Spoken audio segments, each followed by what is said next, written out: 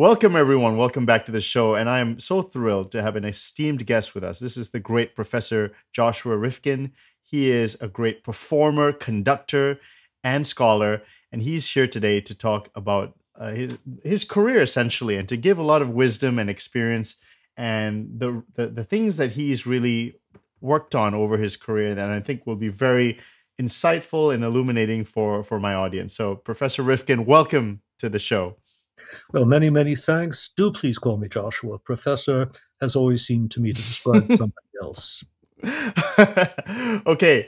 Um, well, uh, Joshua, why don't we talk a little bit about your background? So, for my audience, um, mm-hmm. you're, you're, well known for many things, actually, because you've really done so many things in your career. But why don't you give the audience um, a brief exposition on on your on on you and and we will actually dive we'll, we'll go chronologically. I'd love to talk about your early training but sure. give a little background on your on yourself. Thank you. Well i grew up in new york city and i had the good luck to grow up there in a very rich musical time. And then i had well i was you know as, as usually happens kind of like from a very very very early age uh, possessed by music. I just wanted to eat music, shall we say. and one thing, you know, I had the usual lessons and training and this and that. And think one thing sort of led to another. And particularly as I look back, seeing the rich time in which I was growing up, uh, that kind of presented a whole bunch of possibilities before me and actually invited me into some of them. So, as we'll no doubt find out in more detail, um, many of the things I have done simply happened. And there I was and was able to grab hold of it. Right, right. And uh, how old were you when you first picked up the piano or whatever instrument you started with? It was the piano, and I imagine I must have been three or four. I okay. heard recordings of classical music that uh, my parents played, and of course, I went to the piano and tried to play back what I was hearing. Um, I'm told that I could sing and carry a tune, or I was told, uh, you know, I was two or three. I mean, the, the usual prodigy stuff, you know. Um, right. I suppose what was different in my case is that I uh, did I had no ambitions whatever to be a pianist per se. Um, I was much more interested in composing and in new music from really a very early age, and also in conducting. So they were the principal focuses uh, with which, let's say, I began, and which I began to pursue. But I did, of course, study the piano, and I suppose that came in useful later. Right, and you went to the prestigious Juilliard school and you mm-hmm. had many uh, you had some famous professors and you worked with some famous people. Um, can you just briefly talk about the training you received in juilliard and what was memorable for you? Well i know this is a terrible thing to say but um, juilliard in those days was despite its outward reputation really not a terribly distinguished institution at least in the concerns that i had um, I was I came there as a composition student when I was 16 years old, and um, I was already very involved with new music and really uh, what was then pretty advanced high modernism. I was mm. um, uh, composing sort of total serialism and all of this kind of thing. And I got to Juilliard, and it was uh, definitely not a place that was au courant with any of these things. I can still remember that when there was a reception for the new students, William Schuman, then the president of the school, met us and asked us what we did. And when he asked me what I did, and I said, Oh, I'm a composer. And he said, Well, what are you interested in? I said, Serial music. And he said, Well, we'll try to broaden your horizons here. I regret to say that I did not have the presence of mind uh, to say, I hope not.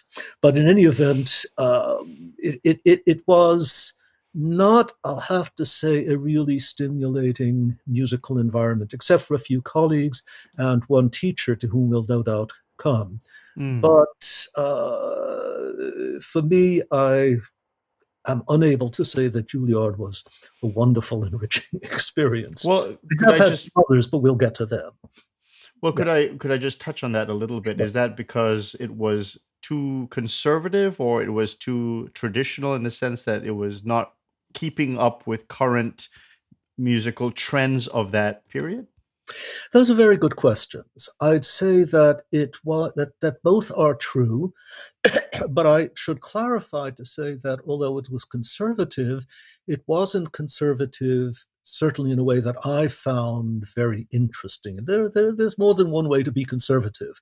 And although I suppose I inclined to radicalism uh, at the time, in some ways still always have, uh, there are a lot of conservatives for whom I had a lot of regard, certainly in the musical field. But uh, Juilliard was more, let's say, rather than conservative, complacent. And it was not only not uh, aware of or alert to many recent developments, but it really was not interested in them at all. Mm.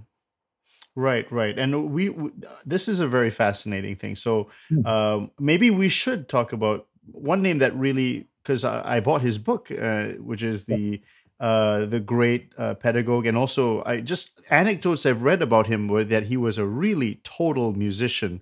I, I can't remember who it was, but somebody said that, and I'm talking, of course, of Vincent Persichetti. As I remember an anecdote, somebody said that he would read music like a newspaper, so, yeah, which I found yeah. really interesting. What? But so you you worked, you studied with him. Is is that yes, correct? I studied with him. Uh, I could almost say that I was assigned to him as my composition teacher, probably because nobody else would have me. Uh, in some ways, it's more that he let me into the place.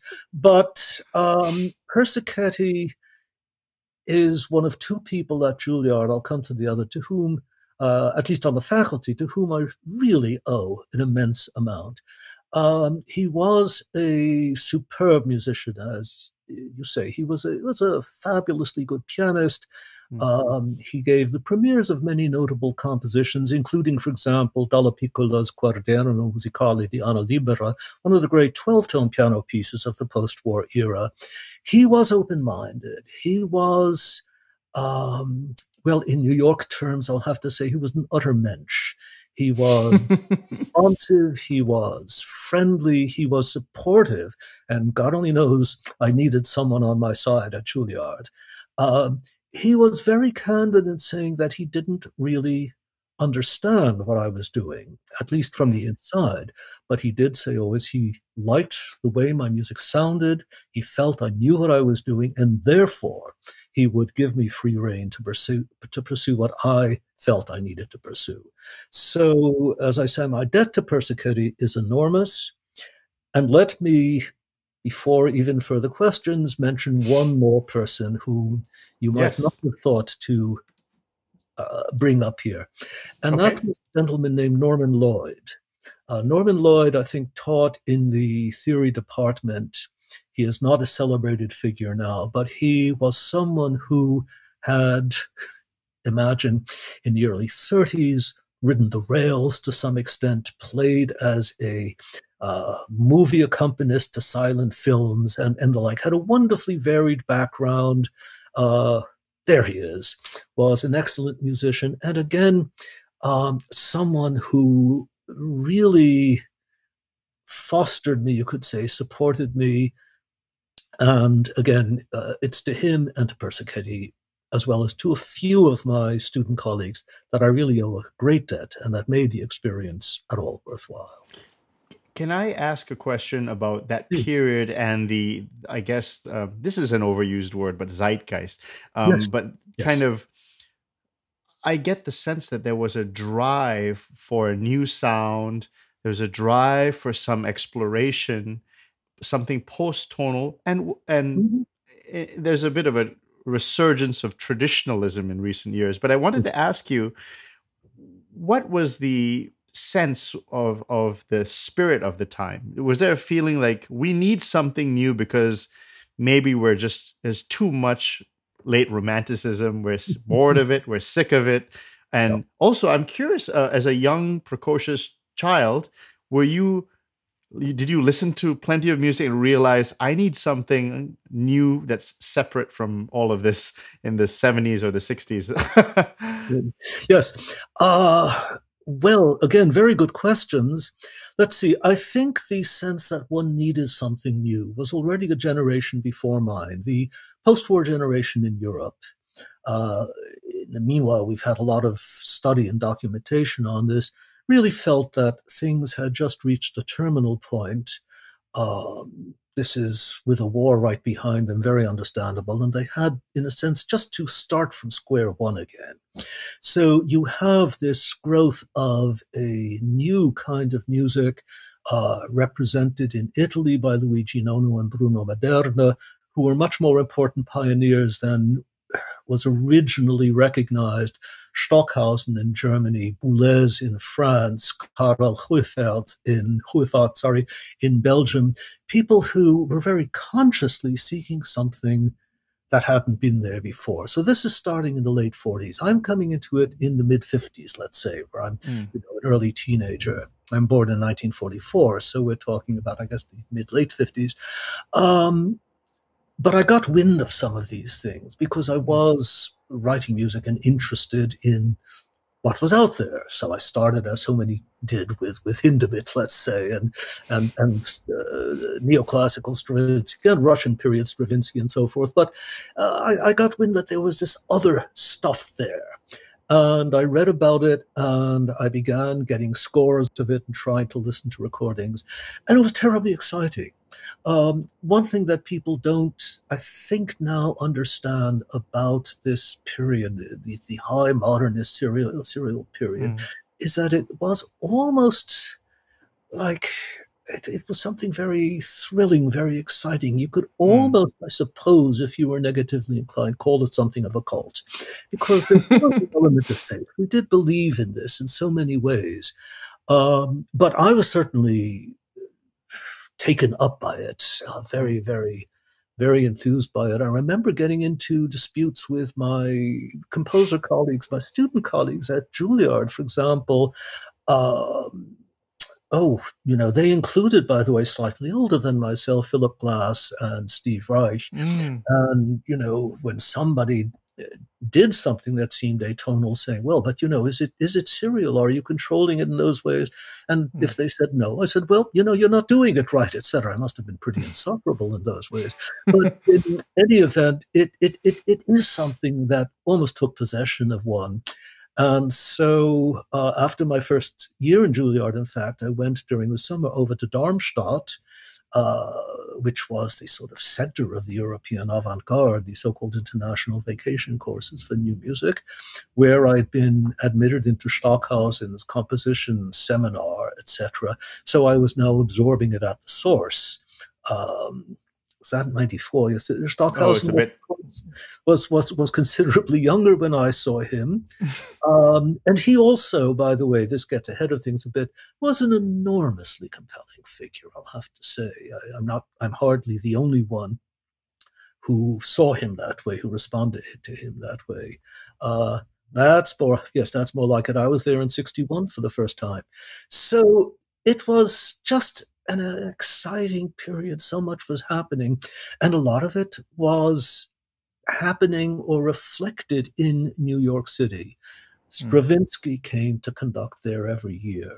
Um, you had other advanced composers, not the Europeans, but in a very different way, but still advanced. There was Milton Babbitt, there was Stefan Wolpe, there was Edgard Varèse, whom I came to know when I was a teenager, etc. So um, was just incredibly lucky, you know, to to be there. It was wonderfully exciting. Um, I lost the faith eventually, um, although I never felt that you know I was a sort of dupe or anything like that. Uh, I think one evolved, but that's where I, that's where I began. You can say. Well, uh, I want to ask you. Um, I just want to stay on this a little bit because yeah. um, I I was I was just trying to look for I, I like um, I was thinking of the Russian Five, and I, I remember in a, in in, in a, some sense they had a very strong identity and they were pushing for something as well. Mm-hmm. And I was very tickled also by the way they described contemporary composers, such uh-huh. in the uh-huh. way that Mozart, uh, Bach was seemed petrified, or. Chopin was a nervous society lady. They liked they liked um, um, Berlioz. They liked this person. They didn't like that person. Right. So yeah. at in that period, then in the fifties and the sixties, yeah. what was if somebody played Mozart or Bach or mm-hmm. Chopin in your circle? How would that have gone down?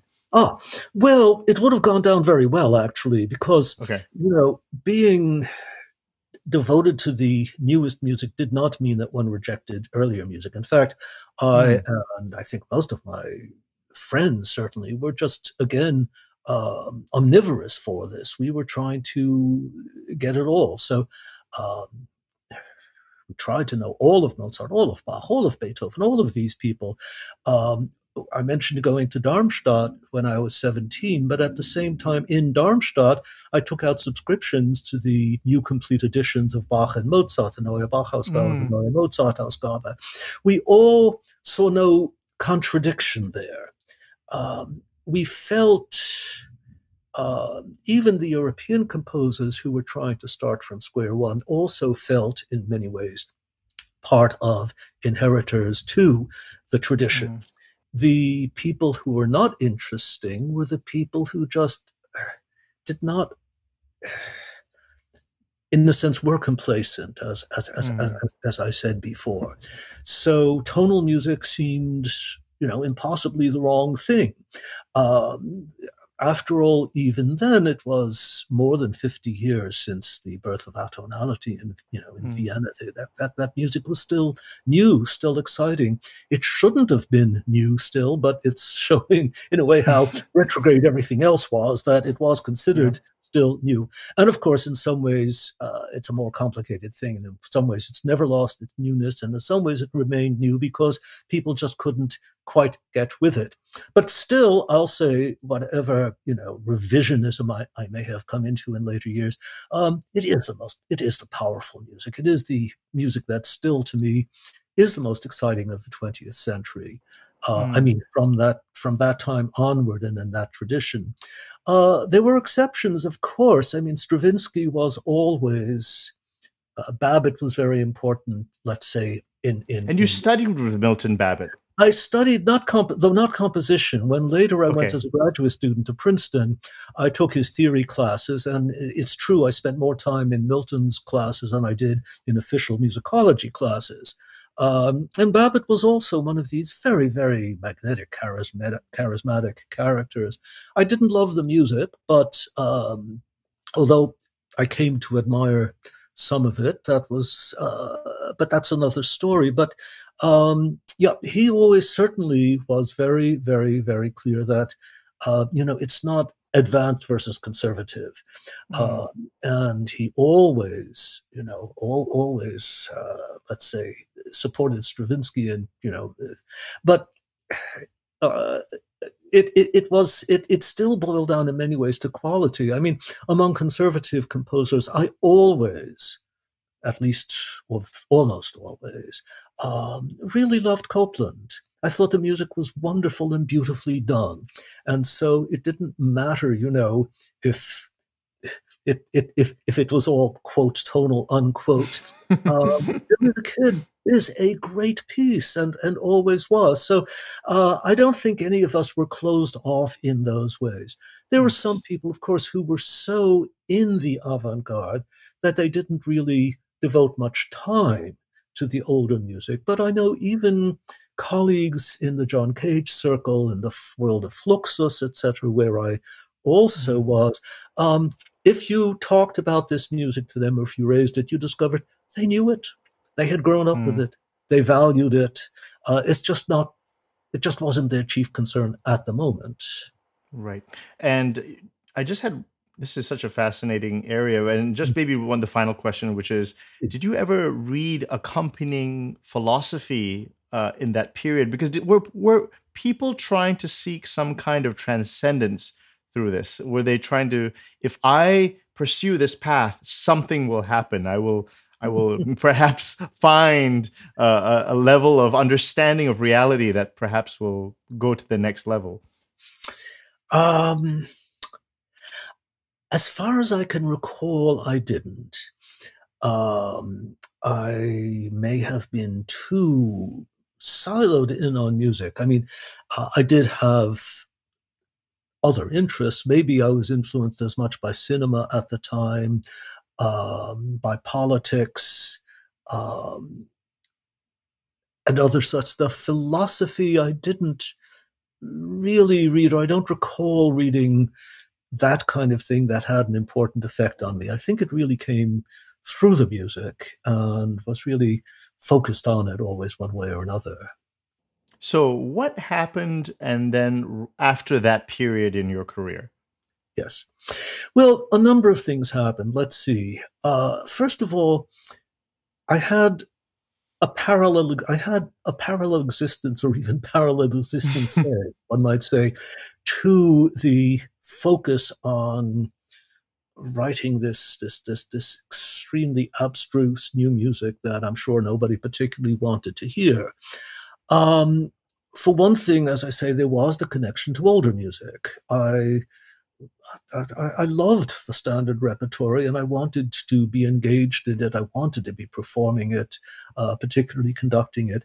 And I also, from very early on, loved early music. I mean, so pre Bach and, and, and Renaissance music and earlier Baroque music, I was very lucky that, for example, my, my piano teacher, one of the other people to whom I owed a lot, a now mm-hmm. forgotten mm. but really excellent musician named David Leibovitz, uh, was also a choral conductor and introduced me to Bach cantatas and to Schütz.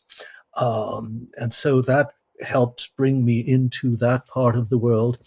And um, through another series of connections, I had become acquainted with early jazz and started playing it, and then became what was known in the day as a folkie. And I played with down in Washington Square in New York City from the age of 13, 14. Um, so those things went on. And as it happens, they helped, they, they, they actually contributed to the changes that took place subsequently in, in, in a number of ways. Um, first of all, I got interested in music history. The early music interested me. And when I was about 16, I think, I learned, so I'm still just between high school and Juilliard. I learned that uh, something earth shaking had taken place in mm-hmm. work on Bach that um, his works, most of which were he had not dated. Um, and you know, dating is something that's one's interested in. You know, when did so and so write this? What led to what, etc. It's a kind of old-fashioned concern, but I think a still a sensible one. Um, the entire uh, scaffolding, you might say, of Bach's of Bach chronology had been radically overturned in the late 1950s, really in the years 1957. Oh, okay. And I was stunned to read about this. And also, so I wanted to learn more. And then I started to learn more about brief, Briefly, what, what was overturned? So, what was initially thought, and then what was the new revelation? Okay. Um, well, the greatest bulk of Bach's output is the vocal music, uh, the cantatas, the, or, the oratorios, the passions, etc. And most of them didn't have a dating. Now, in the 19th century, a very brilliant scholar named Philipp Spitta uh, was really perhaps the greatest Bach scholar. It's certainly a very, very, very, very great scholar. Um, wrote what had long been the definitive biography of Bach, mm. a two-volume publication, came out in what 1873 and 1880, I think. Um, and he, one of the things he grappled with was this problem of, okay, when did Bach write the music? And he came up with a brilliant tool for sort of figuring this out in the vocal works. Uh, he had an insight that really was uh, pretty revolutionary that you could um, identify papers through their watermarks.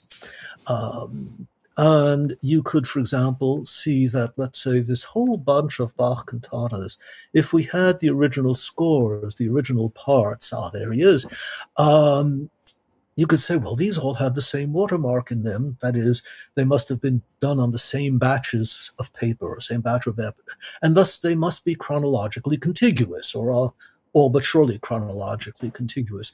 And Spitta um, used this insight to erect this wonderful chronology of particularly the cantatas. And it was so brilliant, and he was so brilliant that uh, nobody dared or when anybody had the temerity to do so, it always turned out that they hadn't thought through the matter well enough, and Spitta really was right about it all.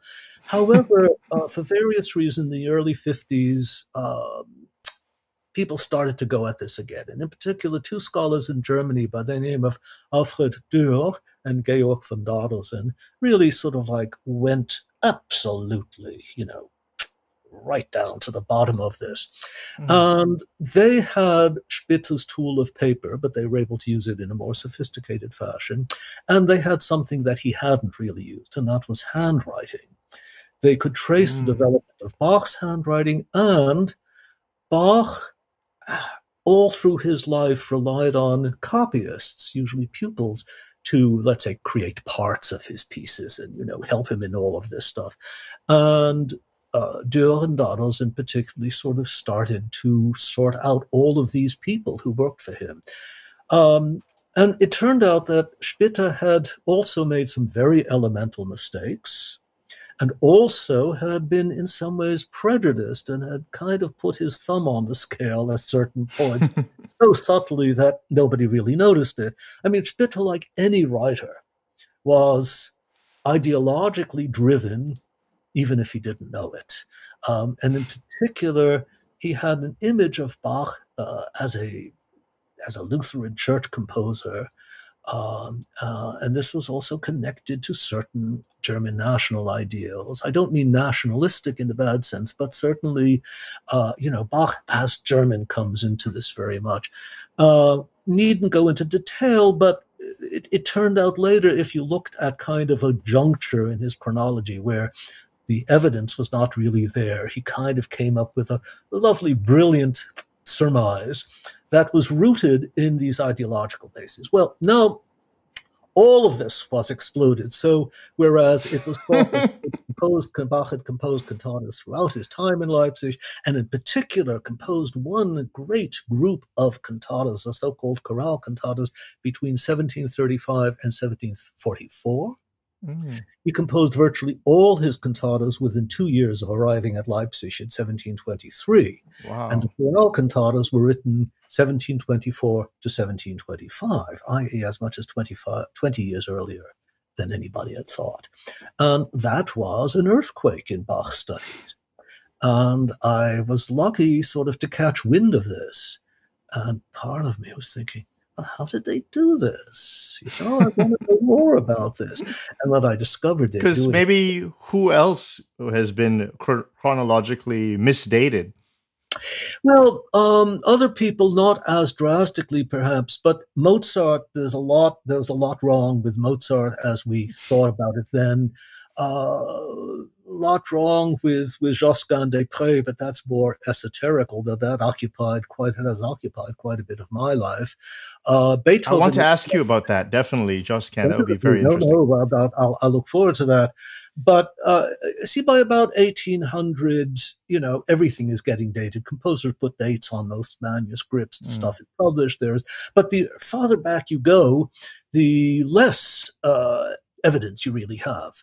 But so that this could be done with Bach, and then, as I say, the way they did it, I mean, what is this paper? Handwriting, it sounded like mysteries, like secrets, you know. And of course, when you're confronted with a secret, you want to know what it is. So that got me into that, and that got me interested in, in the musicological work, the historical work. At a certain point, um, I had gone to Juilliard. I graduated when I was 20. Um, and I faced a choice graduate studies or get drafted. This was the Vietnam era. Hmm. Well, not only did I, did I not want to get shot at and killed, but I really, like everyone I knew, was was vociferously against the war at the time. I, I would not go into that, you know. So. Uh, I didn't go to Canada. I, I, went to graduate school. That's what one did in those days, basically, to avoid the draft. And um, I did not feel that there was anybody in the US with whom I really wanted to study composition.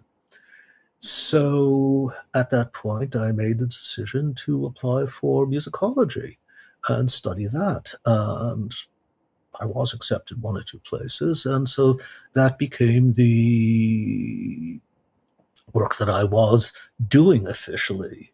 Um, and I kept composing, but gradually, I'll have to say that fell away largely because, as I mentioned, I lost my faith in serialism, but didn't arrive at something to replace it. I can still uh, admire those colleagues of mine who did. I mean, in that way, yes, kudos to to Philip or to Steve Philip Glass or Steve Reich, uh, or to my very dear friend in that era, still Paul Lansky and others who found a way to get out of this apparent uh, cul-de-sac but not fall back on neo-romanticism or something. But I couldn't go to the places, but I couldn't go to minimalism, and I couldn't go to neo-romanticism. I was there a moment? Was there a, a moment in time that suddenly you had that epiphany? Um, probably not one moment, but if I look back, a few moments in a fairly concentrated period, and this gets me back to this other other part of my life that I raised. Um, one of the, the I, I, suppose if an, there was an earthquake in Bach studies, the other birth, earthquake was the Beatles and 60s pop. This amazing music that came out. I mean, I still remember the first time I heard the Beatles, I had heard of them. We had read stories, heard the rumors. But when they appeared on the Ed Sullivan show in the States, and I heard this, and, you know, um, and I mentioned Paul Lansky, very eminent composer now, uh, we were closest friends at the time. And right after this is done, the phone rings and it's Paul calling says, Did you see that? You know, it, it, it just amazed us. Um, so wait a second. So uh, in in a very high level of avant-garde composers, there is a discussion about the Beatles. The Beatles knocked us all out. Uh, and, and really? every avant-garde composer. Oh, absolutely. I mean, 60s pop in general was uh, you know, 60s rock, 60s uh, no longer Broadway uh, adjacent pop, but this newer pop. It, it, it, it knocked us all out. And every composer, I mean, I remember speaking with members of the Cage Circle about this.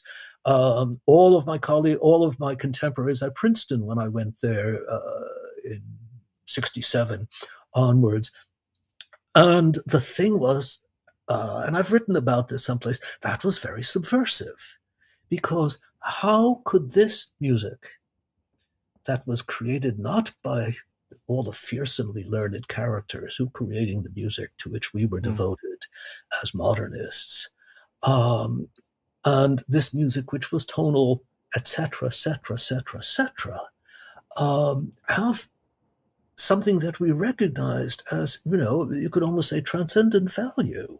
Uh, this, this, this just didn't fit and it really changed uh, the lives of a lot of people, one way or another. Um, there is, this is one of the secret history, histories to be written, but there is a group of highly gifted, high modernist composers who radically changed or even stopped composing. I don't know if I was a, one of the high modernists, uh, highly gifted, but I wasn't. I wasn't bad either. Uh, but I was one of those who fell by the wayside in this, uh, found it impossible really to continue where one was. So this also mm. was a crisis of faith, you could say.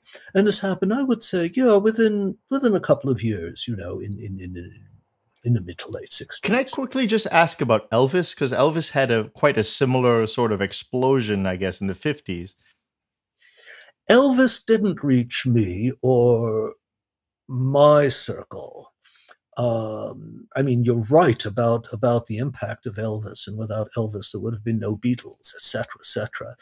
But uh, most of us were still still found it foreign and in, in a way almost beneath beneath our dignity.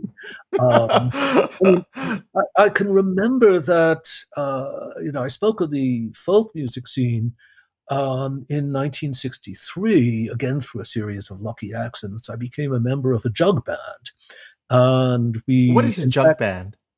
A jug band was a small ensemble uh, play in, in in the mostly rural no in the in the well rural and urban south in the 20s and 30s uh, largely African American, largely black in origin. Um, there you can see, I think that's Gus Cannon and his Jug Stompers uh, that played a blues and jazz inflected music, but mm. on acoustic instrument, not on the jazz instruments, but as you see, banjo, guitar, um, and uh, kazoo. Um, and as a bass instrument, they often used, in fact, a jug, which was blown through um, the way one through with trumpet or trombone. You know? And so it was, again, through just a lucky accident that I wound up one evening doing this music. But that brought us to Elektra Records, and that brought me into the record business, which also then shaped a lot of my life. Um, but at the time, in the jug band, really, we were also hardcore traditionalist folkies most of the time, which meant pop music was also not something even look at modern, you know, folk music like the Kingston Trio or Peter, right. Paul, and Mary. Now, we wanted the real old, you know, hard knuckles. So stuff. that was too polished and a little bit artificial. You got it. Um, there are exceptions. John Sebastian, the, who, who, went on to found the Lovin' Spoonful and make a great career in pop, uh, was a member of the group, and he knew rock and roll very well. But how did Bob was, Dylan fare in the circle? Well, Bob Dylan was okay as a folk. He was somewhat controversial. There were those who loved him, those who hated him. Mm. I regret to say I was one of the latter at the time, and I think boy, was boy was I ever mistaken. Uh, I didn't learn to I didn't come to love Dylan until just a bit later when he went electric, and when I heard Dylan's electric music, I was absolutely blown away. But by that time, my life had in many ways changed. Uh, mm. However, the relationship to pop music. And then it was the Beatles that really crystallized it. The Beatles made this music, among other things, respectable for intellectuals. Um, intellectuals in, in insofar, you know, literary types and all that, um, were interested in vernacular music. It was mostly jazz. Uh, yes. But now suddenly every English professor was writing about the Beatles. You know, um, it, it it it it suddenly it it changed the whole paradigm, mm. you might say. Uh, right. Insofar as, by the way, um, let's see, what used to be called high culture has been eclipsed for more demotic culture, pop culture, etc. Mm. In the halls of academe, any place you look, this is the period where that is happening, where that transition is taking place. Um, and indeed, uh, it, it, it, it, certainly all of us, but those whom I knew, um, were very affected by this and could not maintain at least unquestioningly all elements of the relationship to high culture that we'd once had. Mm. Um, so, which came first? Your because uh, you, like you mentioned, you you were introduced to the recording career, and you had quite a huge effect on culture uh, in the 70s an enormous effect but then also in musicology you had a you had a very um, uh, very significant impact because uh, i want to talk about the historical numbers of singers in a chorus because i think sure. if, if anyone goes to your wikipedia page they will say it was no. controversial at the beginning but it has gained quite an, an influence in yeah. in uh, in uh, performance practice. So which came first, the the Joplin or the or the the chorus work? no, very very very fair question. Uh, let's see. Okay, just just maybe chronology is useful here. Um, as I say, in 63, so I'm 19 years old. I'm about to graduate Juilliard. No, in fact, I still have a year left at Juilliard. Um, I come into the jug band. Uh, by the way, also, you see, in that year, I took part in the first performance of Satie's Vexation, the 18 hour piano piece that John Cage had arranged. So already I'm, I'm, I'm, doing a number of kind of things that you wouldn't expect to come together. Uh, but I come into the record trade, the record business. And by the mid 60s, in fact, I am doing my own recordings there. I, have become a recording artist, uh, you might say. Um, so there is that connection. And then in, what is it, 1970, two things again happen. I leave Princeton, I take an academic job. And in the years, in a couple of years before that, I'd been introduced or reintroduced to ragtime and Scott Joplin. Um, I'd known this music some uh, since I had been maybe an adolescent or even pre-adolescent. I mentioned the early jazz connection, and there I came across some of Joplin. I played it, but of course in a very uh, early jazzish manner with more improvisation, swung rhythms, etc., etc., etc. It was really um, another close friend of the period, uh, composer and critic Eric Salzman, now sadly no longer with us, who brought my attention to Joplin again, and with him, William Bolcom, who is happily still with us. And Bill and I had come to know each other when I was a Juilliard student, and he was up in Yale, already a graduate composition student. Uh, but somehow our paths crossed, I think, through his first wife, who was at Juilliard. Uh, whatever it is, this, this nexus brought me back to Joplin, and I became utterly. Uh, there they are, Bill and Joan. Uh, Joan was not the right wife at the time, but um, they're both wonderful people. Bill, whom I sadly have not seen in many years, was was again a very magnetic character, wonderful musician, and I became really just tremendously taken up with Joplin. And of course, there I was at a record company, and I was making records for them. So I was able to come to them somewhere, roughly the spring of 1970, and say, you know, we really ought to record this music. And uh, I can I can get the pianist for you cheap. And um, you know, when they agreed to do this, and and and, and to be very honest, uh, well, I thought I said we ought to do it, and we ought to do it on a classical record label and present it in a certain way, you know. Uh, and this was, I think, very different. This is not the way Joplin or ragtime had been known and presented. And uh, fortunately, they liked the idea. They went along with it. And we put it out, I'm not exaggerating here, we put it out in the early autumn of 1970. I had just also moved from New York to uh, the Boston area, where I now became an academic. And uh, as we did with everything at Nonesuch in those days, we simply put it out on the market to die. Um, Nonesuch did zero marketing, zero advertising. At most, you know, uh, they brought new records to people at radio stations. That was it. And to our astonishment, literally to our astonishment, um, people really started getting excited by this music. It went viral, to use the modern parlance. Yes, absolutely. Um, I mean, I I expected that it would sell a few more copies than my recordings of late 15th century French secular music, you know, which I had done, you know, and which sold a few hundred copies or something like Can that. Can you remember the recording session? What was the recording session like? And how did you use multiple sessions? Uh, I remember it very vividly. We, of course, we used multiple sessions. We, you know, you had to do many takes of each piece.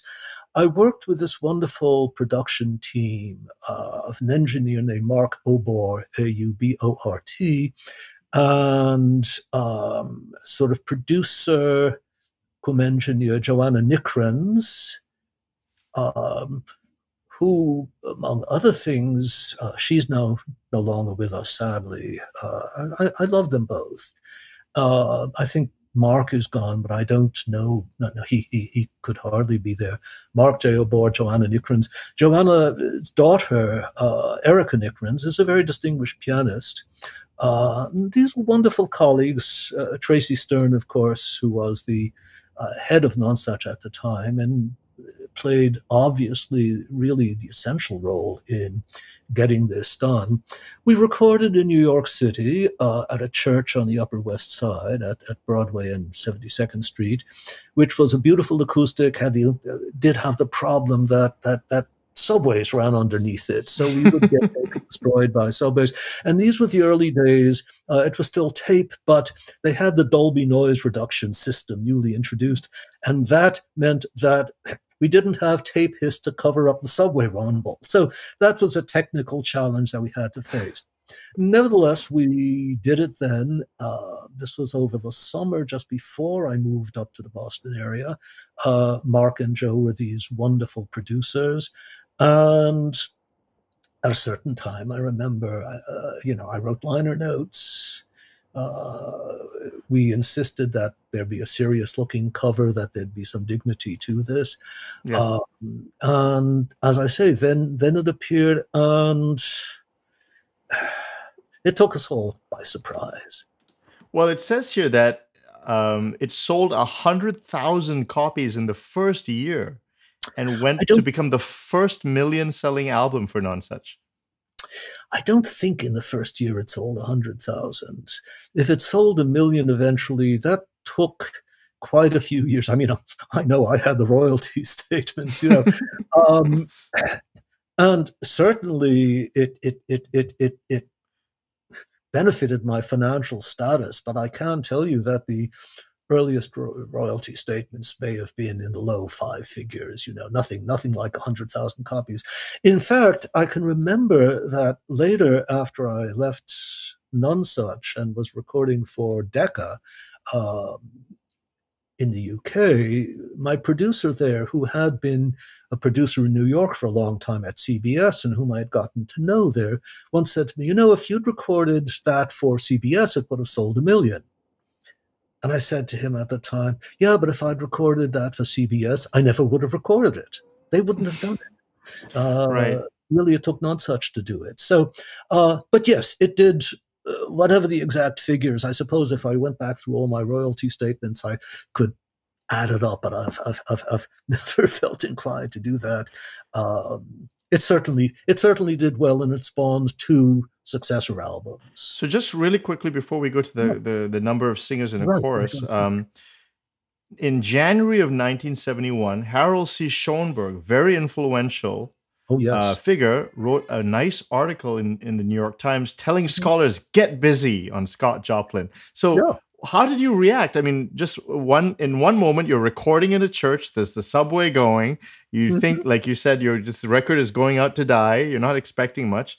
Then it's selling hundreds, thousands of copies, and now influential figures. How how was the what was the mood like at that time? What were you thinking? Oh, um, I knew Har- I knew Harold Schonberg by the way. He, he, was an acquaintance of my father, so we'd known each other since I was an early teenager. Ah. Um, I, I think um, again, it, it was heady. Um, he wasn't the only one. As I say, there really was this groundswell. Record magazines were right, you know, I was uh, being approached to do concerts, this and that. I should say, by the way, that this was also not in and of itself something new in, in, in this respect. Already the jug band had quite a success in 1965, when I came to the, uh, when I had already been at a record company, we did a recording of, uh, it was called a Baroque Beatles book that, that turned Beatles songs into authentic Baroque music. And that was a bestseller. Um, then, uh, right in the wake of that, I had recorded as an arranger with Judy Collins. Um, and we had gold record albums. And so uh, and and I was already known for this. So in a way, you know, in those days, I was I was not unknown. So when the Joplin came you could say it was it was more of the same, just pushing it to a different level. Just as I'll get ahead slightly, uh, in 1973, when the film The Sting was made, I was just about to mention that. Yes.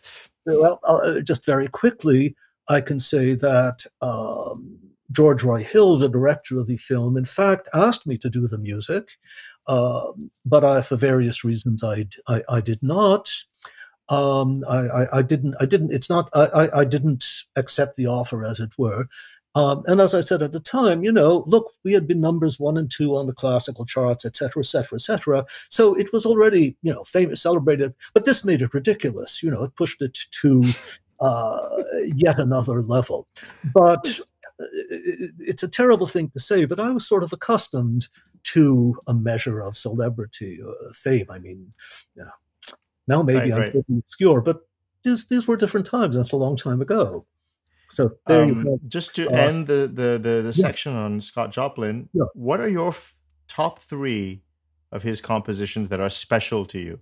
Oh dear, that's very hard. That is hard to say because I love them all, and I love most the one I'm playing at the moment.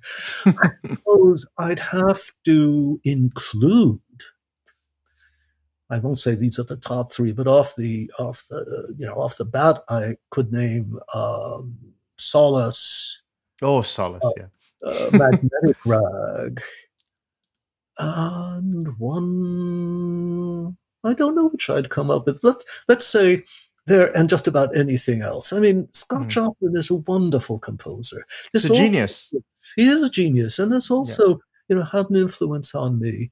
Um, he wrote, he wrote this really beautiful, exquisite music. Um, and he is clearly a thinking musician. I mean, I, I, I, I love Joplin as a man, you know, as a human being uh, even beyond even uh, even beyond him as a composer. It, it's both, you know. So uh, Joplin also, yes, he, he had a tremendous effect on my life. No. So what did you make what, of his? Uh, I just, just I have no, to include this. What did you make of? Uh, I, I talked to a scholar, Philip Terita from Germany, and he talked yes. about um, Scott Joplin owning a copy of Salomon Jadassohn's counterpoint treatise and was heavily annotated, apparently. So does that surprise you, or his training? It, it, it, does not. Joplin studied, you know, he had some formal training, maybe not extensive, but he studied with, uh, and I haven't checked the newer literature on this, but, you know, an immigrant, immigrant German music teacher mm. um, in Sedalia, where he, Missouri, uh, where he was growing up. Uh, not, not sorry, uh, Texarkana. And then in Sedalia, he attended classes at a college for uh, black students and studied music there. He certainly is musically literate. He could he could read. He um, he could clearly arrange. You know, the choral writing in Treemonisha, for example, up to eight voices, is immensely skillful. It, it doesn't just sound beautiful. It's written by somebody who really knows a how to make the music sound and really knows how to engineer the notes on paper. So you're dealing with a musician of indeed considerable sophistication that he would have carefully studied counterpoint. Um, Joplin is, in the best sense, an aspirational character. And he is always clearly pushing himself and learning. I mean, that's any artist is. You know, the Beatles were, um, Mozart was, Beethoven was. You're always looking for more. You're always looking to go beyond. I mean, you may not even be consciously looking, even knowing that you're doing it, but that's what you're doing. And that's what mm. Joplin did. So Joplin had an immense impact there.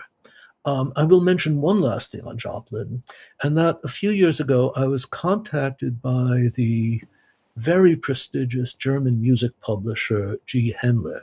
Uh, they're the people who mm. put out sort of the standard the Urtext, yes, yes. Urtext of Bach, Beethoven, Chopin, these very, very sober mm. blue covers. There, yes. And they have asked me if I would do an edition of Scott Joplin for them. Uh, I haven't yet come to do it. I hope that I'll be able to come to do it in the next couple of years. Um, I, uh, the last I knew, the project is still alive.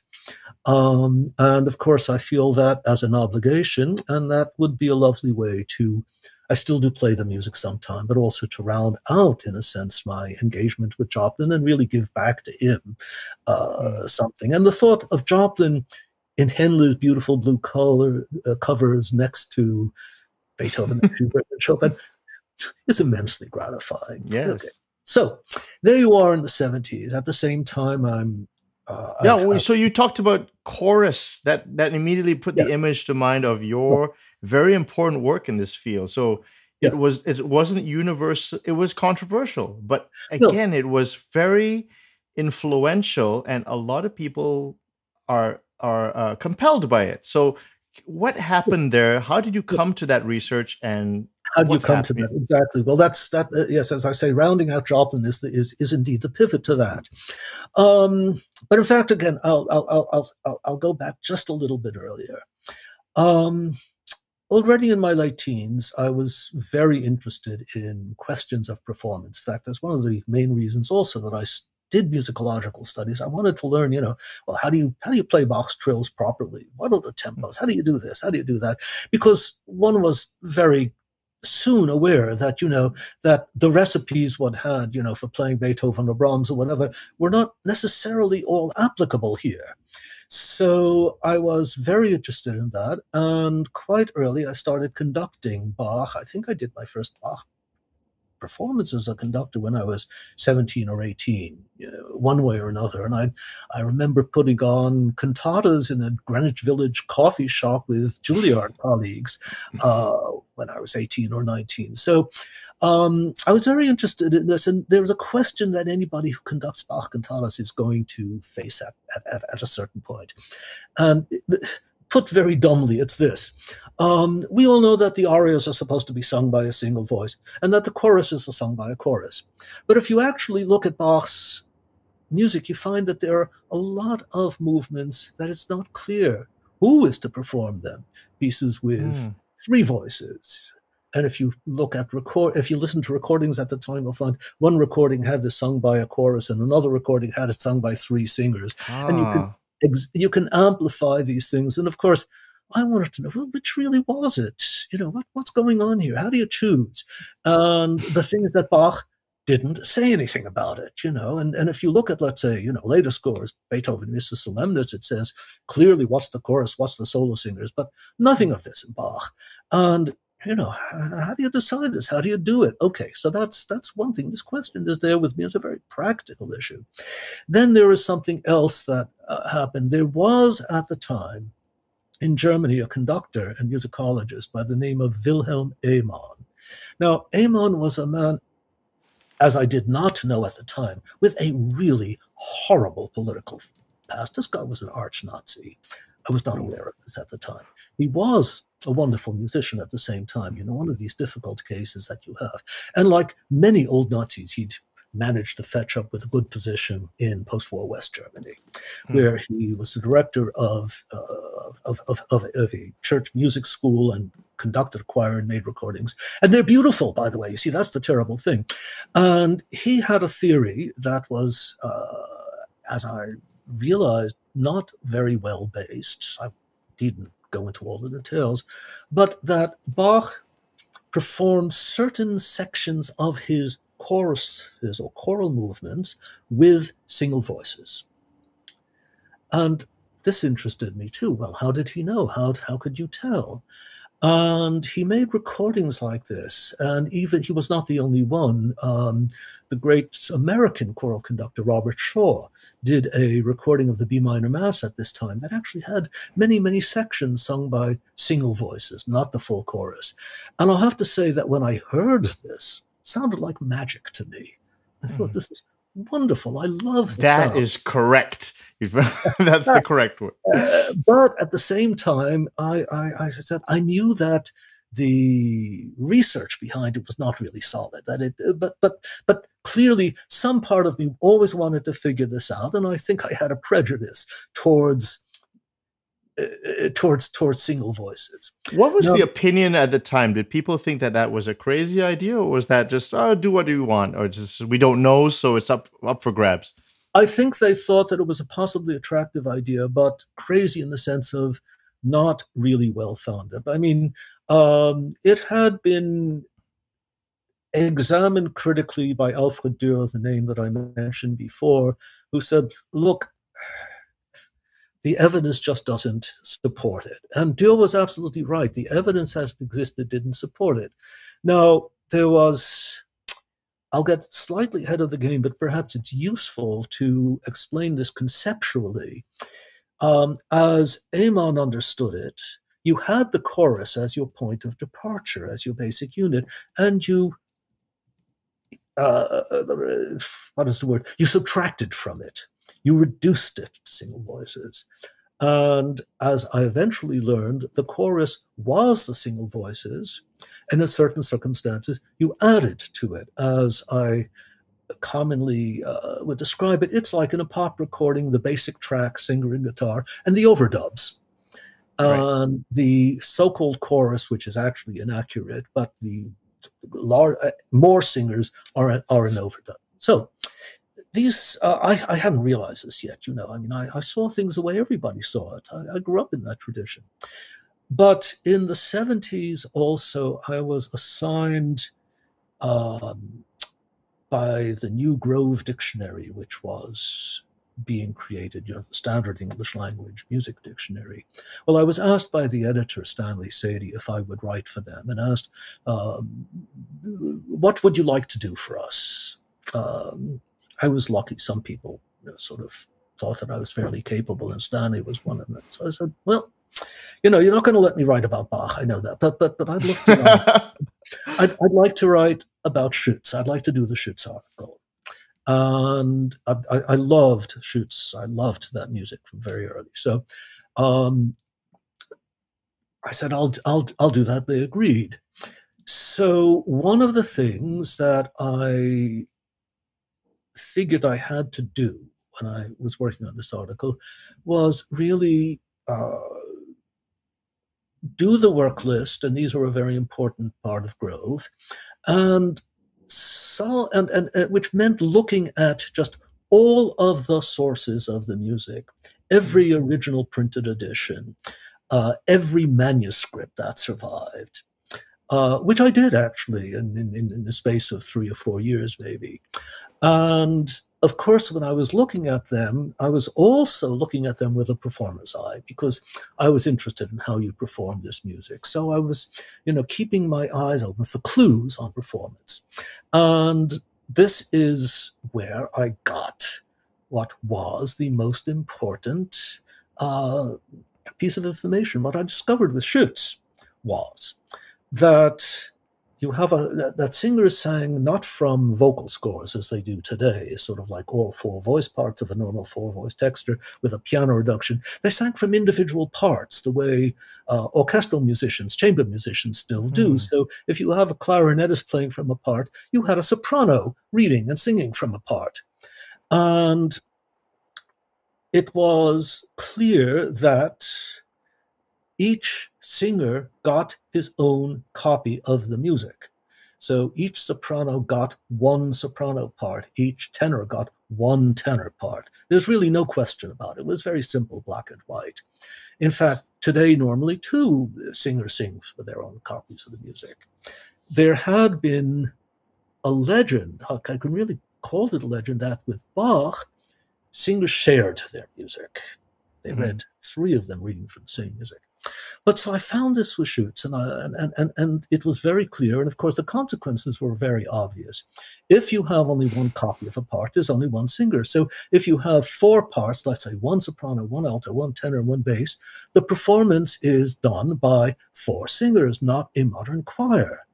Um, obviously you have to be able to show the relationship, the proportion of singer to part. You have to show that, yeah, there weren't many parts that are now lost, etc., etc. Mm. Um, but if those things uh, in here, that's what you have. And at the time, of course, I remember thinking, well, that's great. I started looking around the 17th century, same with Monteverdi, same with Buxtehude, blah, blah, blah, blah, blah. And of course, I'm thinking, yes, but when did it change? When did it become what Bach did? You know, when did you have the more people and people sharing their music that you had with Bach? Because I believed it. You know, that's what I was trained to believe. And I still remember that on one afternoon in 1978, see that I really can still remember, I'm sitting in the Harvard Music Library, uh, which had a special collection of microfilms, a huge collection of microfilms of old manuscripts, printed editions, etc. And they had all of the Bach materials there, all of Bach's manuscripts, etc. I remember rolling through a reel of Bach parts to cantatas, that is, the original parts from which his musicians performed. So not his scores, but, you know, violin one, tenor, you know, organ continuo, etc. And I'm reading through this, and I come to one cantata. I can even remember that. It's Die Himmel erzählen die Ehre Gottes. It's BWV 76.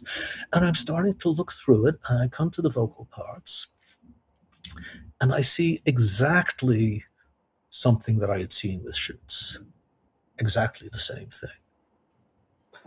And I said, if this is true, if this is true, then it's different with Bach, and that the whole thing is different. And at that point, though, I knew that I had to look systematically at all of the parts, which I did over the next two years. It was wait. So for people who are following you, what is yes. the the what is the mainstream way of performing a Bach cantata? Well, the mainstream way um, has been since the revival of Bach's music to have what we call a choir, a chorus, which basically is defined by having multiple singers on each line of the music. Mm-hmm. Um, now, when Felix Mendelssohn, in effect, created this when he created the Matthew St. Matthew Passion in 1829, because really Mendelssohn created the Matthew Passion. Hmm. Bach didn't. Bach just wrote it and performed it in the seven, you know, in the 18th century, but nobody knew the piece uh, until Mendelssohn makes the present, and he performs it as of course you would in those days with uh, with over 150 singers um, uh, and and they didn't think twice about that then and they needn't have done so. Um, by the way, I have enormous regard for them. That's not the point. And I'm not trying to say that they were dumb. No, quite the contrary. I mean, Mendelssohn is one of the greatest composers, mm. musicians ever to walk down the pike. These are wonderful people. But they set an agenda. Okay. So then in the 20th century, everybody becomes enlightened and they start to reduce the choir. And by the 1930s, it was still, it was pretty much accepted that Bach's choir and performance was 12 singers, three sopranos, three altos, three tenors, three basses.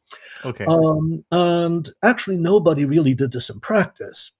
Uh, in practice, let's say people had a chamber choir, which would usually be maybe 30 singers, something like that. And that was considered oh. the proper, a good, proper way to do it. Mm-hmm. Um, so here, here I come along, and you know, I say, well, well four people, or yeah, exactly. You know, uh, we're we're reducing the choir, but this is ridiculous. But you see, the thing that became clear that let's say after I had gone through all of the parts multiple times, everyone, and really just to see anything that could show the contrary, it was clear that every time you could determine how many singers used a Bach part? The answer was one. There was simply no exception to this. That's point one. Secondly, we have surviving, we have most of Bach's parts still, by the way. And almost without exception, you have one copy of each voice, one soprano part, one alto part, one tenor part, one bass part. And finally, the evidence is overwhelming that there were not more so, if you have one copy of each voice part, oh, if you had already with Bach, one copy of each voice part, and one singer reading from that music, do the math. It's obvious. It's simple. What were the uh, what were the common objections that you received to this? Good question. Gets very slightly ahead of the game, and I'll come to that. Okay, sure. Um, Well, okay, I'll put it this way. It looked black and white. And I'm going to jump ahead in one way and say this nobody who has gone to the sources, these manuscripts and studied them with an eye to this problem, has ever come back saying anything different. It's important to say this. So, what did happen? Okay. The standard picture of Bach's chorus um, was actually created in the 1930s, not earlier.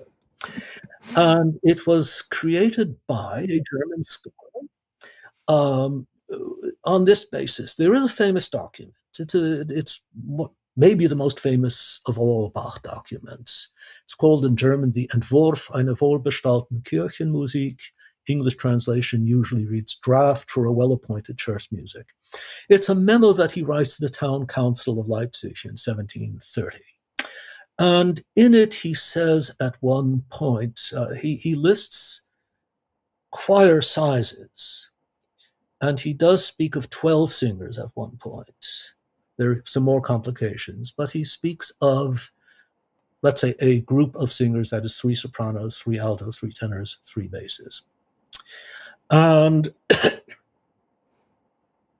this was accepted as the Bach choir. And so in the 1930s, a great Bach scholar by the name of Arnold Schering, uh, who knew the parts and knew their importance, said the following. He said, Well, you have one copy of each part. He knew this already. He said, But there are 12 singers. And then he said something very significant. He says, There couldn't be more than 12 singers because only three singers can read from the same music. Now, mm. in retrospect, one can notice all of the unsubstantiated assumptions there. How do we know that three singers read from the same music? There's no evidence of this. There's no evidence of this ever happening, certainly in the 17th and really in the 18th centuries. Um, if you look at when he says more than cannot, it is clear that to him, a chorus is like a helium balloon. It grows until, you know, it grows bigger or goes higher until something clamps it down, you see, until it runs into some obstacle. So, and, but this is a conceptual issue that is not easy. And let me be very honest, I didn't understand this all at first either. I could see the facts, I could see the numbers, but putting it all together and making sense of it all was a different matter. Um, do it, isn't I, there, um, and as a layman, let me yeah. do is is there any document that says Bach's church has employs twenty people? These are the singers and so there's um, no document like that. There is no document like that, but since you raise it, there is another danger with documents like that. Let's say that there is a document that says, and we actually have something like that in the Weimar period of Bach, that says, okay, there, there are 20 singers employed by the church. Let's say that we're not talking choirs, but we're talking baseball teams or American football. American football team has 45 players. Now, we all know that 45 players do not take the field all at once. A right. European football team, a soccer team, has maybe four goalkeepers on its books. They do not all go onto the field at once. So the question is, what do these numbers mean? And again, unconsciously, people tend to see a number like that and think, oh, that's that's how many perform all the time. By the way, the Vienna Philharmonic Orchestra has about 150 members. They never play at once. Mm. It's it's it's a pool from which mm. people are drawn. Now, so uh, uh, oh, I'm sorry, uh, Joshua. I just uh, just um, so uh, I think it was mentioned that but look at these paintings of people looking at the same sheet. So therefore, it has to be three or two people. Yeah. Well, um, my dear friend and colleague Andrew Parrott has pointed out that pictorial evidence has a way of dematerializing. These paintings don't really, I mean, one could go through all of them, but let me say this that you see, all of these points really are missing the point. The first thing to do is go to look at the parts. I mean, I could perfectly well be wrong. I could perfectly well be wrong in saying these are A, the strongest evidence that we have, and B, this is what the evidence shows. Fine. What's interesting is that nobody has done that. Nobody has gone to look at them. And those that have gone to look have all come out saying, oh, but it's exactly what you say there. You know, uh, I could name names, but uh, that's that's that's not the point. The question then is, okay, uh, what is the response? What are the arguments? Well, the response was basically, well, what about?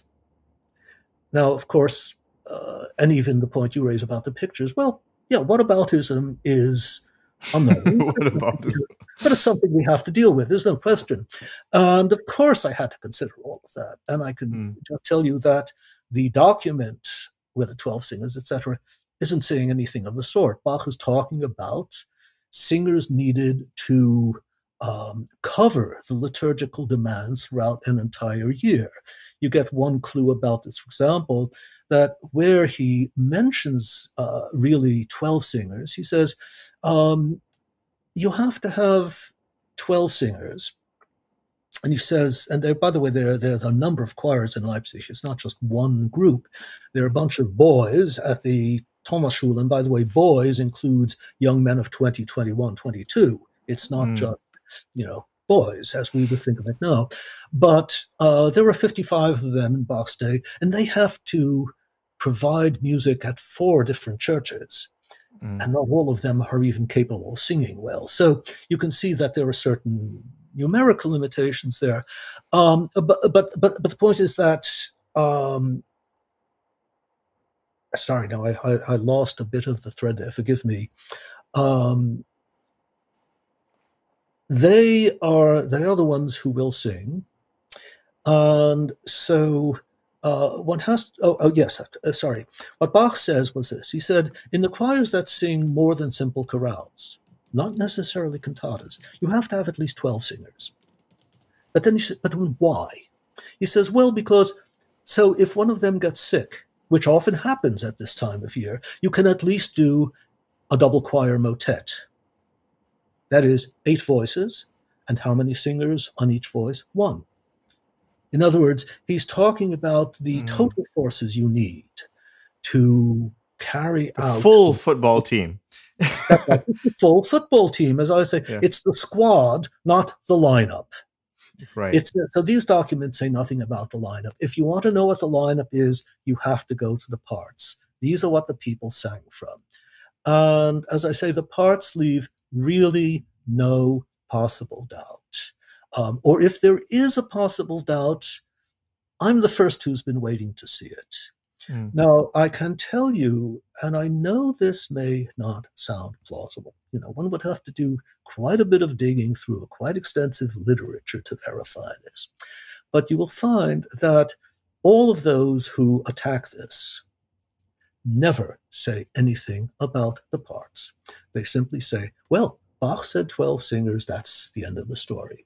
Now, hmm. I even wrote a little book on this business of this document because you have to. So, and I said there, well, look, let's try to read this carefully. Uh, for one thing, I have to say, Bach's language is not modern German. Um, I'm fortunate that through the work I did on Schütz and other things, I'm pretty adept at 17th and 18th century German. Mm. And even, you know, German scholars say to me straight out, yeah, this is not stuff that people understand now. Um, um, so if you read what he writes carefully, all I can say is that it doesn't say what people say it says. And again, uh, I've set forth arguments there, and it's perfectly legitimate for anybody to come forth and say, well, you know, you've misread this, and here is why the traditional understanding of this document um, is really the preferable one. But again, interestingly, nobody has done that. I had a question, which is, could he have written uh, mm-hmm. in mind a large for a large choir, and has he done that, or ha- does this apply to his, all his vocal music? Okay. Um, first of all, he never did it. He never wrote for, so far as we can tell, uh, more than, let's say, two choirs each of four voices, uh, total of eight. And sometimes they sing in certain pieces, they sing in unison. Mm. So that's that's basically the maximum. Um, now, well, as for the other side of the question, what did he wish for? Well, I mean, it's obvious. Bach always wanted the modern piano. He always wanted a modern orchestra with valve trumpets and valve horns. He always wanted steel strings, etc., etc., etc. I mean, we know, you know, we know such things, and you laugh at this because you're familiar with it in these other places. Um, but no, how would no, you have reacted to the 20th century recordings of, you know, 20 people in each part?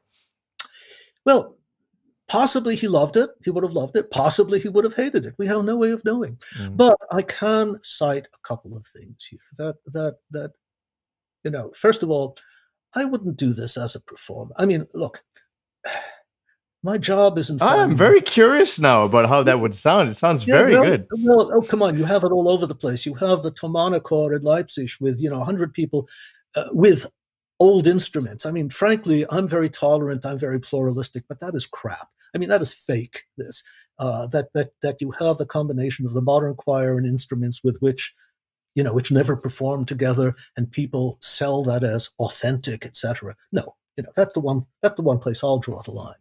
But um, in the scholarly sense, I'm not in research sense. I'm not interested in what Bach wanted because, frankly, there isn't evidence on this. I mean, when there's evidence of what a composer wanted, obviously we take it seriously, but we have no explicit evidence of what Bach wanted. We only have evidence of what he did. Mm. Uh, as a performer, I follow this not out of piety, but because, frankly, I think the music sounds much better that way. I think. Yes, it, I'm interested am, in here. Can you recommend a, a recording that people could first go to to hear this done well? Well, you know, some of mine are really not so bad. Um, quite a few recordings of mine. I don't think they're all wonderful, but some of them, yeah, you know, uh, I think Wachet auf, ruft uns die Stimme, BWV 140 is, is really pretty good. Um, uh, the old B minor mass for Nonesuch still holds up, I find, fairly well. You know, you can get a sense of what it sounds like. But um, like it or not, you know, to me as a performing musician, the music is much more beautiful. In fact, I can even recall uh, Sigiswald Kuijken, uh, who's one of the first European heavies to take this on board, uh, saying to me when we first met in Leipzig, we're talking to me, talking with each other. Uh, I, I, like and admire Sigiswald a great deal. You know, at one point he said, but you know, the real reason to do it is that it sounds so much more beautiful. And I'm totally in agreement yes, with him. Thank you. Um, That's the right attitude. well, it's the right, well, it's the right attitude in performance. You know, the scholar, the, the, the research, the scholarship has to be solid. I mean, this is yes. not just you're doing what you like. Um, yep. But as it just happens to be the same thing, though. well, I, I, think so. I, I, like to think so. Um, but I can, in fact, show you a couple of things or mention a couple of things that I think show that Bach, whatever he, quote, wanted, unquote, uh, composed for this medium. Mm. Um, you take the opening chorus of the St. Matthew Passion, where there is no question that there were eight singers performing this, plus a ninth singer doing the soprano in ripieno. Not a huge boys' choir, but one singer was was a boy, but um, that throughout the movement, the singers of choir one and choir two are sort of calling back and forth to each other. Now, at a certain point near the end, the two choirs suddenly join in unison. Now, I can remember still conducting the first rehearsal of this movement in 1985, the first performance we did of the Matthew Passion, according to what the parts told us. And I'm conducting away in a rehearsal. And, yeah, I know the score, and I've read the score, and I've seen that the voices come together there, but, you know, okay, so Bach's making it easy for himself. He doesn't want to write in eight real parts there. He'll do it in four, etc., etc., etc. You know. So I'm conducting away, and I do the cue at that spot, and I almost fall down, just, you know, like hit by a thunderbolt, when I hear that sound of the second choir joining the first. And this, this very different sonority of two singers singing the same music, two widely spaced singers. It was tremendously dramatic. And at that point, I, I was so struck by this. And of course, in thinking about it, I have to say, look, I think one has to accept that Bach planned this, that he meant this, that he meant this as a dramatic climax of this movement, and that if you perform that movement in the modern style with multiple voices, that effect just is lost. See. I'd mm. never noticed it because I'd grown up with traditional performances. So here, I think you, I, I, ha, I, do have, I can cite, and I can cite many more examples where I mm. think if you perform it in a modern way, you're going to lose something very essential to the music. That I think we have to believe that Bach intended and planned. So I, that I, that that that I know is subject to discussion, to debate. It's something that's inferred from the musical texts themselves. But again, I would have to say those who are opposed to it, well, deal with it and start arguing the matter.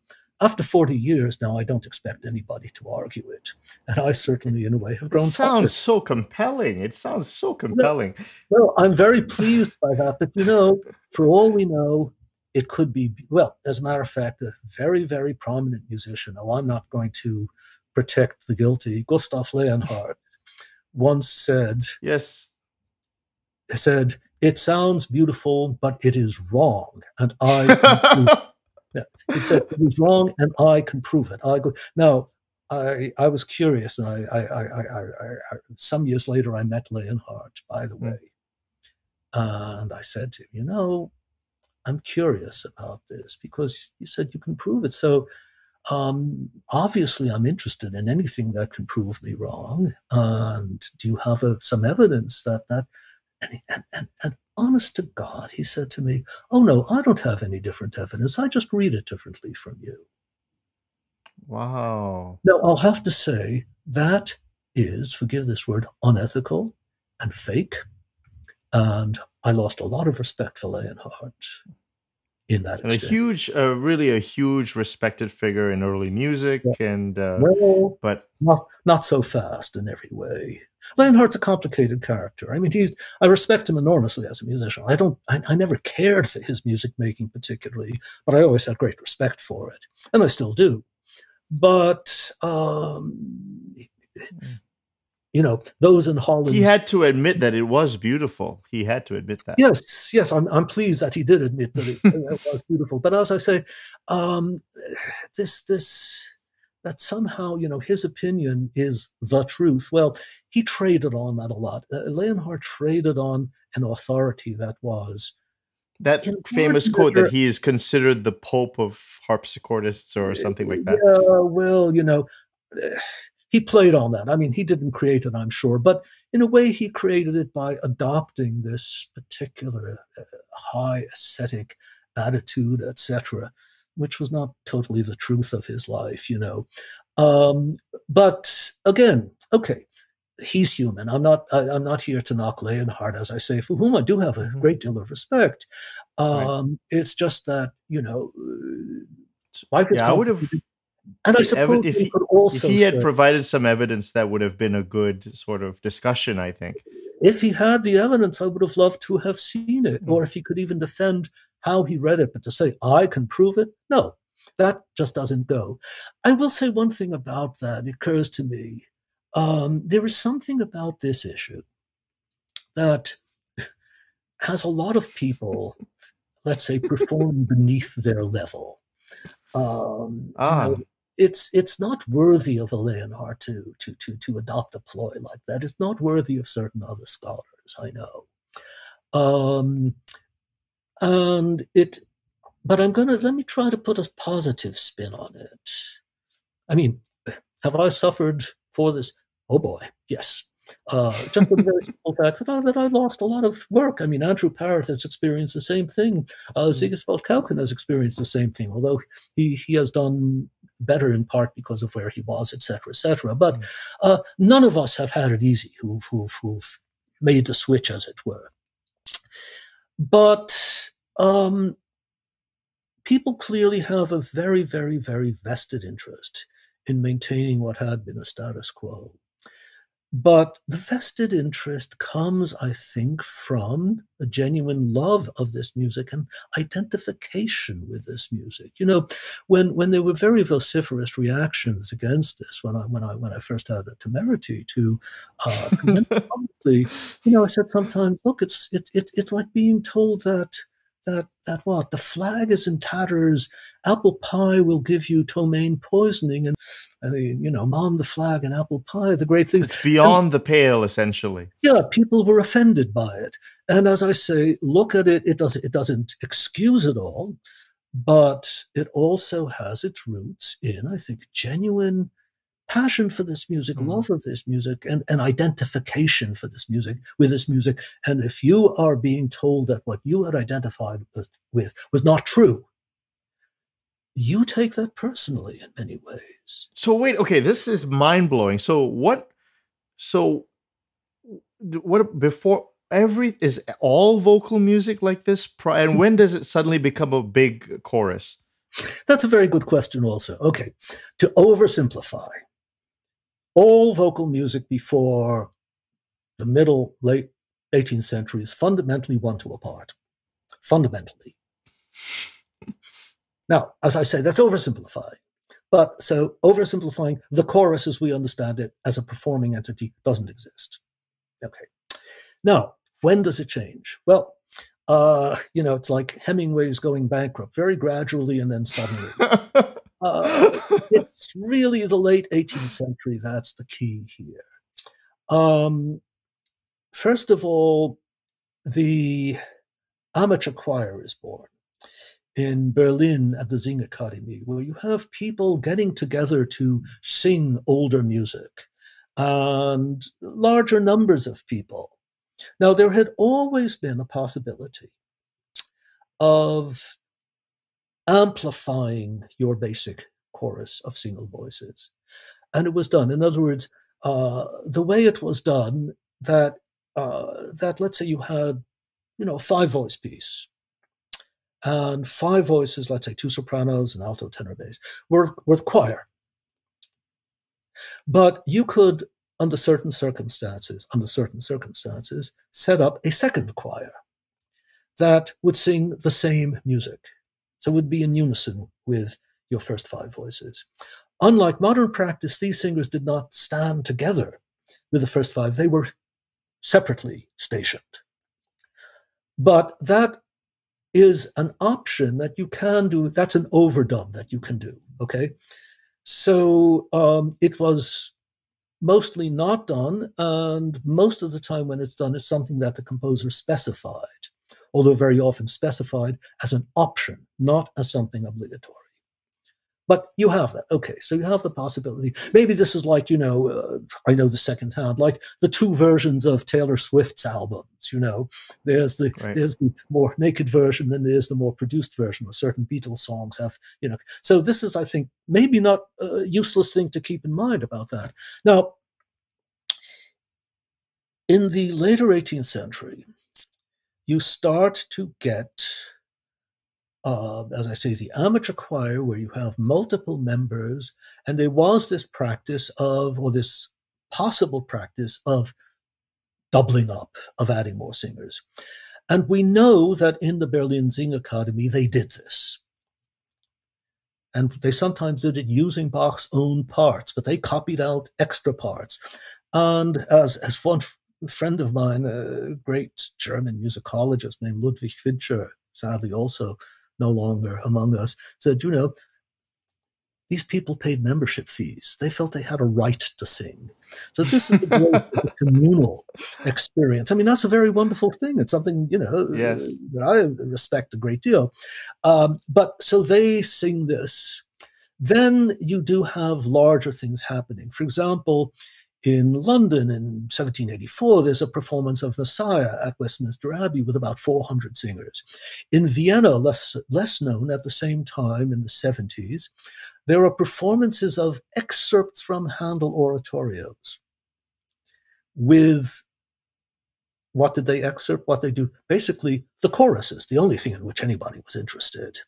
Um, the only thing in which anybody's interested today. You know, you suffer through the recits and the arias to get to the choruses.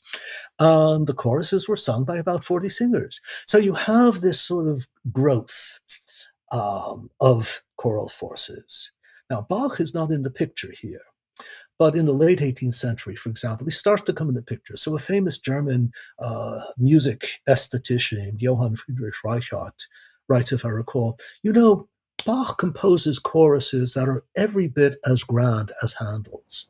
well, the jig is almost up right there.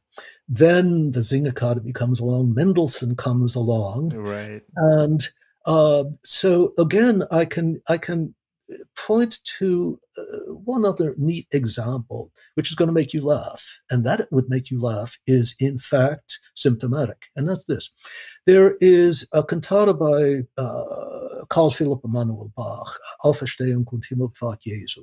So, um, you know, resurrection and ascension of, of Jesus. And um,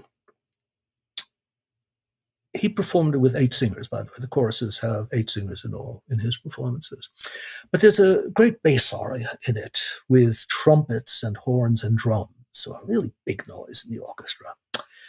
And in 1836, I think it is, a German, great German scholar uh, named Karl von Winterfeld writes about this oratorio, this cantata. People thought it was an oratorio. It's not. It's it's C.P. Bach was very specific that it's a cantata, but he writes about this aria.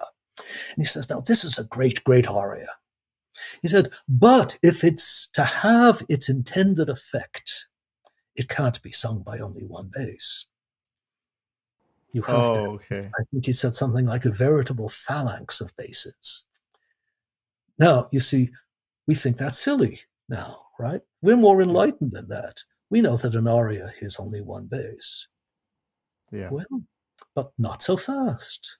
See, Yeah. we know that a chorus is such and such a number of singers. Well, maybe not.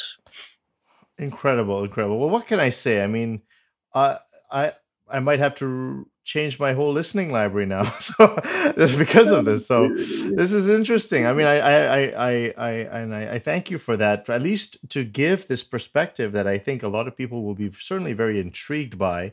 And uh, Joshua, I, I want to leave on one very quick thing, Please. which is and I'm sorry and- that my answers are not always so quick. no, no, this has been fantastic. And Okay. um, I, I mentioned in passing at the beginning of the interview about a rise in traditionalism in terms of certain things in music, Right. and, and I'm really uh, we have been exploring pedagogy particularly. right. And have you ever ex- heard about partimento or something to do with uh, this sort really a basso continuo, figured bass, thorough bass, general bass? Wha- and what do you make of it? Give just your reaction to it, essentially. Well, I do know partimento, although I'm not expert in it. And I've seen that on previous occasions. You've had some partimento experts on, including, uh, is it Sanguinetti? Uh, Yes. Yes, whom I've met also and had a shared a wonderful lunch in, in Belgium many years ago. Uh, admire him a great deal. Um, the partimento is fascinating stuff. Um, and it, it's, it, it, it, it offers a lot of insights into a lot of things. In terms of continuo practice, that is actually playing from the figures, I'm not sure that it really has that many implications uh, because it's really a matter of sort of creating a kind of polyphony uh, from the figures. And I know this all, opens up a whole nother c- can of worms, but basically, I'm of the view that in, let's say, 99% of the occasions, continuo is something that is felt but not heard. Its job is really to be behind the other instruments and just help knit them together. The minute, I'll say this slightly exaggerated, the minute in an ensemble performance you really notice the continuo, they're doing it wrong. And partimento is not really part of continuo practice. What they share is figures, of course, and working from Mhm. figures. But again, to come back to Partimento, I think it's a fascinating thing. I, I, I, I, I, like everything that I know about it. I may draw different inferences from it uh, from what others might, or I might not draw the inferences from it that some might draw. But that doesn't at all diminish, I think, the interest of it and the importance of it, because it does give us a lot of insight into way people are conceptualizing music and conceptualizing music pedagogy.